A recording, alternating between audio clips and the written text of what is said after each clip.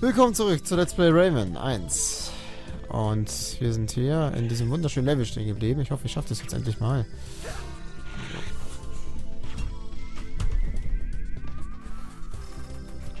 Okay, ich hab keinen Bock. Ja. Das Level ist so scheiße und dieser Wichser ist immer noch da, Mann. Es tut mir echt leid, dass ich hier so einen eingefressenen, äh, äh, so schlechte Laune hier vielleicht haben könnte. Das liegt aber daran, dass ich einfach schon seit zwei Parts dieses scheiß Level hier spielen muss. Und ein Part, ne, zwei Parts schon, diese scheiß Mini-Level hier dran ist. Und das ist einfach so scheiße.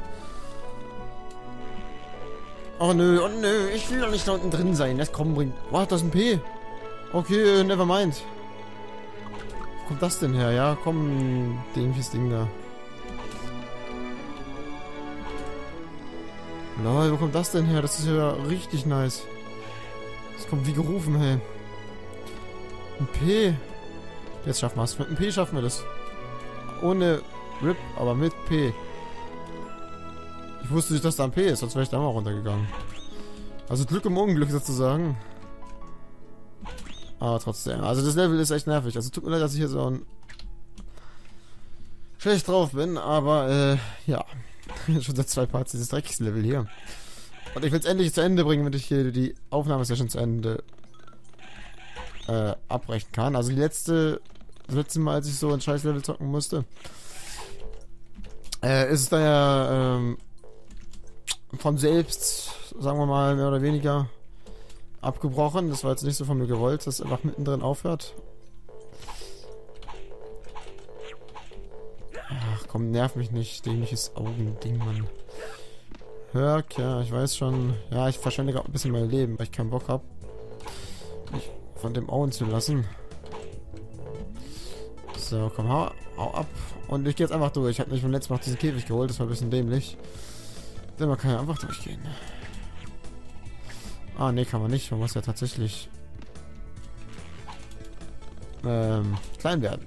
Das wusste ich nicht. Deswegen wird man da also klein. Okay. Und jetzt... Danke. Und jetzt noch der Bosskampf. Aber der ist auch echt schwierig. Und zwar ist es Space Mama, heißt der Boss. Ja, toller Name, nicht wahr? Und es leckt gerade ultimativ. Muss schon sagen, dieser Abspann ist auch sehr aufwendig. Kann man schon mal lecken. Also wir sind hier auf der Bühne, der Vorhang geht auf. Und es ist Zeit für das Spektakel. Und da kommen sie nämlich an, die Piraten. Und der Endboss vor uns. Space Mama. Mit schöner Musik. Ich habe hab sie früher schon geliebt und ich mag sie immer noch. Okay, ich dachte, es kommt ein Boss. Ah ne, zuerst kommen nur diese Lappen, die aber eigentlich ganz schön stark sind, verdammte Scheiße. Oh, ihr seht mir nicht zu doof, um die zu besiegen. Ah, na endlich.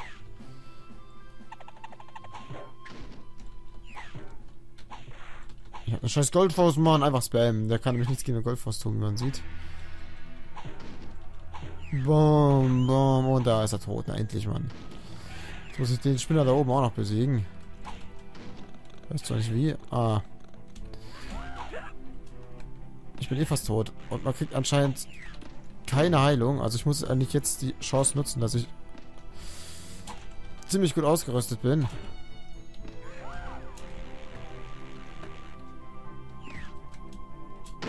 Alter, wie soll man das machen? Also wenn er da seine 10.000 Bomben spammt, das finde ich dann schon... Was hat mich getroffen, bitte? Was? Ich will wissen, was hat mich gerade getroffen? Also es wäre ja auch mal interessant, vielleicht erleben wir das auch noch. Also wenn ich alle Game Over fertig, kein mehr Game Over machen darf, äh, wäre interessant, was dann passiert. Vielleicht sehen wir das ja an dem Part. Äh, dann würde die Aufnahmesession auch unterbrochen werden. Und dann sehen wir uns wieder, wenn ich äh, das an, an einem anderen Tag nochmal probiere. So, ich würde mich auch sehr freuen, wenn es hier ein bisschen schneller gehen würde. Also ich habe jetzt nur drei Leben. Ich darf mich dreimal treffen lassen von diesen Bomben. Und wenn er seine Bomben spammt, was soll ich denn da machen? Propeller hilft nicht. Ausweichen hilft nicht, weil da sind zu viele Bomben. Also es gibt irgendwie nichts, was ich machen könnte. Ja, auf jeden Fall sehr fair. Aber das ist mir ja schon gewohnt. So, komm her, du. Und der eigentliche Bosskampf kommt ja halt eigentlich erst noch, ne? Das ist hier nur, das ist nur so Vorspiel. Aber dass man die immer wieder besiegen musste, wusste ich auch nicht. Aber hier bei dem ersten kann man tatsächlich nur spammen, das reicht. Es geht sogar ohne Goldfaust. So, Depp, down. So, der im Ausguck kriegt auch noch ein paar rein. Jetzt werden seine Bomben. Okay, dieses Mal sind sie aber schlecht gespammt. Konnte ich sogar mal ausweichen. Ich glaube selbst nicht. Ja, aber was soll ich da machen, Leute? Oder da. Okay, jetzt kommt er runter. Ja, klar, natürlich spawnt er direkt in mir quasi, dass ich nicht mal mehr irgendwas machen kann. Und seine eigenen Bomben schaden ihn natürlich auch nicht. Ich meine, das sind zwar Bomben, aber never mind so. So, und jetzt kommt der eigentliche Bosskampf. Ich hoffe, er wird ins Checkpoint gesetzt. Ja, das ist er. So, den muss man, glaube ich, immer in die Fresse hauen, wenn ich das richtig weiß. Er schießt immer so Messer so richtig dreist. Ja, genau. Ah, genau. Und danach fliegen die so richtig komisch weg. Also der ist auch nicht ganz leicht, der Boss. Ja klar, warum? Schau mal, ich treffe ihn, aber es macht ihm keinen Schaden. Logisch, ne? Ah, jetzt kommt der Scheiß, jetzt wirft er mit seinen Messern da um sich. Aber das war, glaube ich, relativ leicht, wie es ausschaut. Ja, das ist jetzt nicht so der schwere Teil. Jetzt kommt das wieder. Und in die Fräse, mein Freund. Aua, hä, was hat mich denn getroffen? Das Messer oder was? Jetzt, ja, komm. Mm, oh, ich muss alles nochmal machen. Das dauert ja ewig hier. Komm, gib Gas, Mann. Das braucht nicht so lange, weil das so rumleckt. Oh, Zeitlupe. Uh. Ich verstehe gar nicht, warum das so leckt. Ich meine, das ist doch nur so ein Vorhang, der aufgeht. Das kann doch nicht so aufwendig sein. Aber wir, am besten, wir verlieren am Anfang kein Leben. Also, es ist wirklich besser, wenn man dieses P hier hat. Denn ohne das P hat man halt nur drei Leben, was ich extrem wenig finde.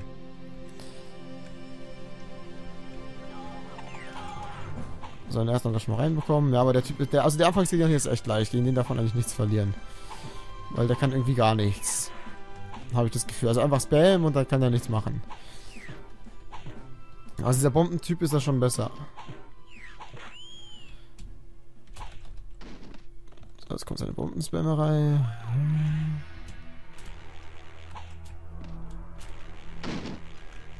Boah. Ich bin ausgewichen, hey.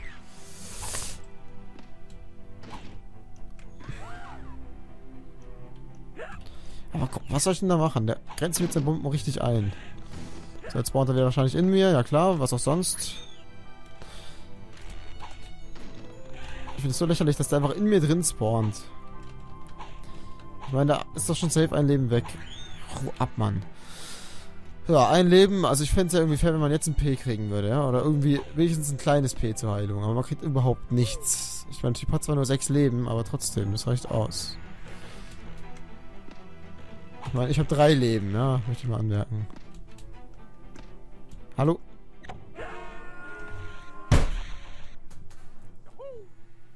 Ich hasse die Steuerung. Ich hasse diese alten Spieler, weil die immer so rumglitschen müssen. Das war genau wieder so ein Fall. Ich bin da voll drauf gesprungen.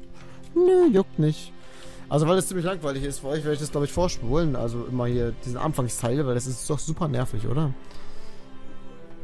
Oh.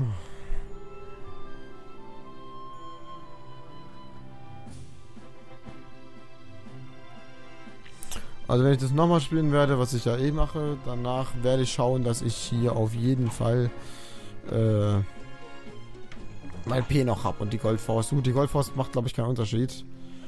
Warum auch immer, weil bei Bossen bringt die anscheinend nichts. Obwohl sie eigentlich viel schneller down sein müssten. Aber macht nichts. Und deswegen, äh, P ist wichtig. Das habe ich doppelt so viele Leben. Das wäre schon nice. So, machen Abgang. Der da oben einer rein. Jetzt wirft er seine Bomben. Okay, waren dumm geworfen, weil irgendwie erwischt mich da kein einziger. Egal, ich beschwere mich nicht. finde es auch irgendwie lächerlich, dass man den nicht mehrmal treffen kann, ne? Also immer nur einmal und dann... Nö. Also, wie soll man dem ausweichen, bitte? Diese Bomben verfolgen einen so richtig komisch. So, diesmal konnte ich immer seinen komischen...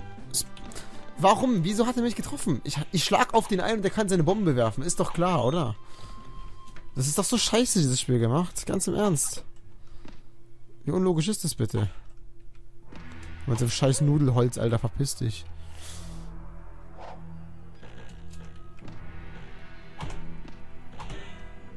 So. Der besiegt. Jetzt bringen diese Schwerter weg. Also eigentlich ist dieses Space Mama Fight nicht schwierig. Man muss ja wissen, wie der abläuft. So, jetzt kommen sie mit den Schwertern, die sie nach oben schießt. Und das ist, das ist super leicht. Also, wenn man sich hier treffen lässt, dann weiß ich auch nicht mehr. Dann kann ich auch nicht helfen. So. Dann ist mir nicht mehr zu helfen. Also, hier kann man sich eigentlich gar nicht treffen lassen. Nee, also man kann sich anscheinend doch nicht treffen. Ich weiß zwar nicht warum. Ich finde das auch echt ein bisschen assi. Ich meine, warum...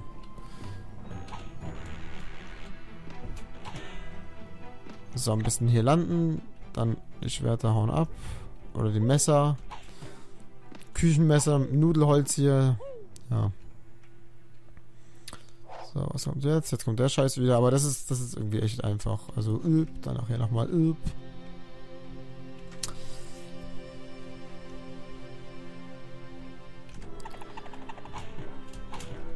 Also ich kann sie da echt nicht treffen, das finde ich echt schade. Weil eigentlich ist sie da übelst ungeschützt. Was kommt jetzt? Okay, das war ja auch noch machbar. Aber der Scheiß wird halt jetzt schwieriger, wenn die Messer wegspringen. Ja, das ist schwieriger. So, aber auch machbar. So, was hast du draus, Space Mama? Also der Bombenfuzzi, der war bisher der stärkste. Muss man mal zugeben. Boah. So, okay. Was ist das denn? Ja, was ist das denn für eine Scheiße?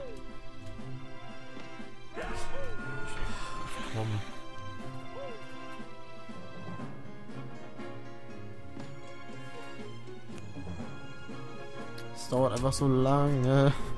Mann, das ist doch scheiße. Warum dauert das so lange, bis ich wieder zocken darf?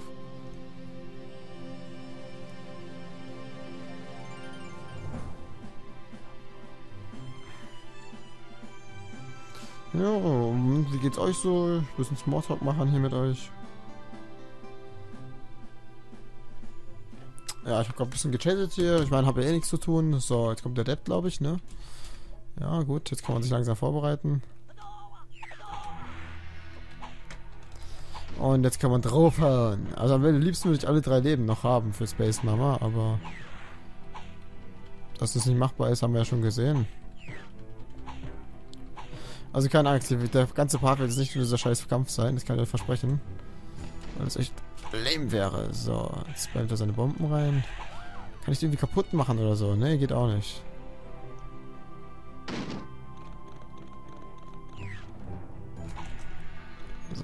Den zweiten rein. Okay, ich glaube, am besten ist einfach stehen zu bleiben. So, da erwischt habe ich nämlich auch mit der zweiten Bombenfront nicht. Da kommt er runter. Jetzt wirft er seine Bombe, glaube ich. Ich lasse ihn mal kurz werfen. Jetzt wirft er. Hat aber nicht getroffen, zum Glück. Und jetzt killen wir den. Jetzt killen wir den. Und dann das wäre jetzt nice. Jetzt hätten wir noch alle drei Leben für Space Mama. Perfekt. Also einfach langsam angehen und danach sollte man hier keine Leben verlieren bei diesen Bombentypen. Aber deswegen will ich das halt noch zu Ende spielen, bevor ich äh, dann wirklich meinen guten Run mache, weil ich dann halt keine Leben verlieren möchte, logischerweise. Und da weiß ich schon, wie der Bosskampf abläuft. Und das ist dann halt ein großer Vorteil, ne? So, also da springen sie weg, die Schwerter. Da kommt jetzt diese lame-Attacke da.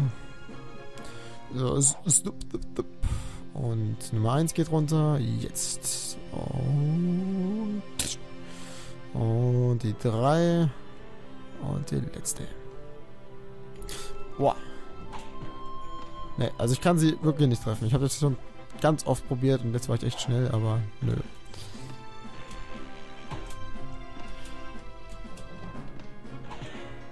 So, gibt's eine Fresse.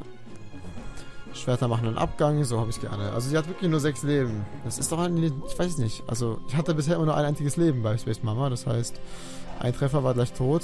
Und deswegen hat sie mich mit ihrer neuen Attacke da umgebracht, weil ich die halt nicht kannte. Aber das wird dieses Mal nicht passieren, Leute. Das versichere ich euch. Jetzt schafft man das nämlich. So, jetzt kommen, glaube ich, diese fünf Schwerter, die so rausfliegen. Äh, stopp, stopp, stopp. Genau, jetzt kommt das.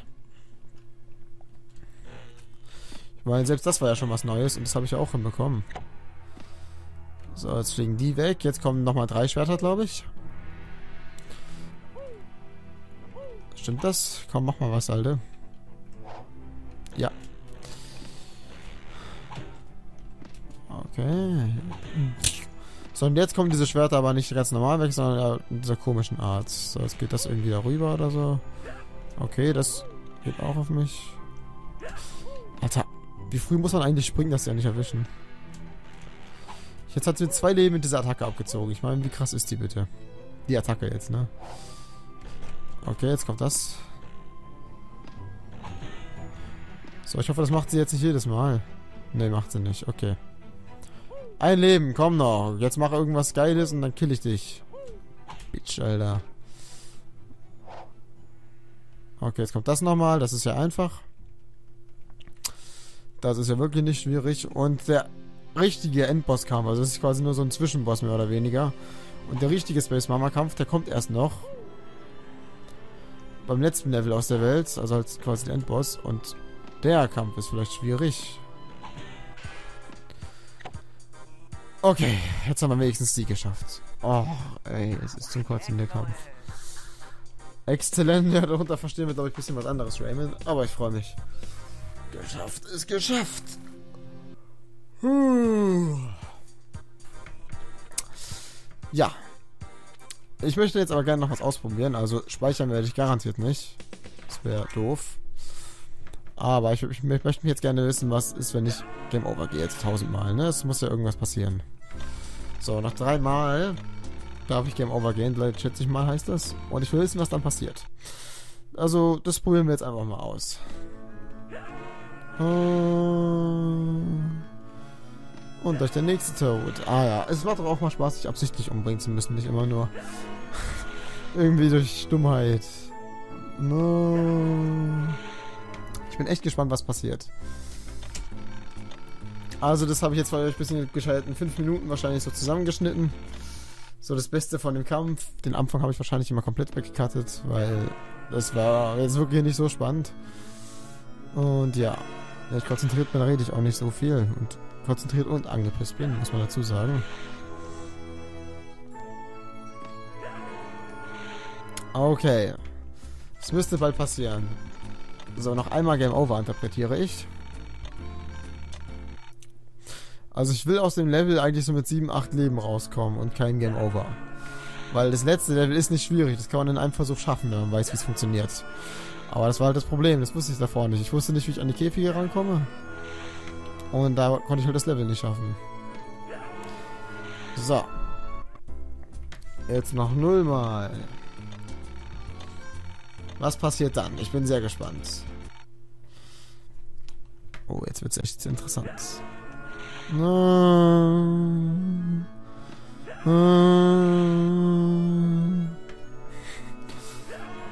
yeah. Jetzt. Das ist das letzte Leben im letzten Game Over. Was passiert?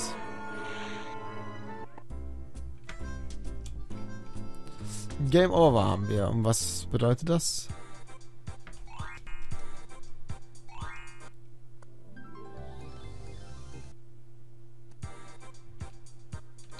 Okay, das heißt, man muss einfach vom letzten Speicherpunkt starten. Ja, okay, aber das ist doch gar nicht so schlimm.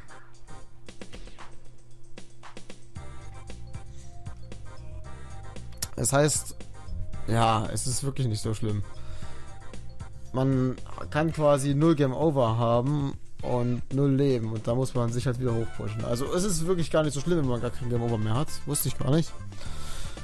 Gut, für mich gibt es eine kleine Aufnahmepause, denn die Ruhe brauche ich jetzt. Und dann sehen wir uns beim nächsten Mal wieder bei Rayman 1 zum nächsten Level. Vielen Dank fürs Zuschauen, bis zum nächsten Mal. Tschüss.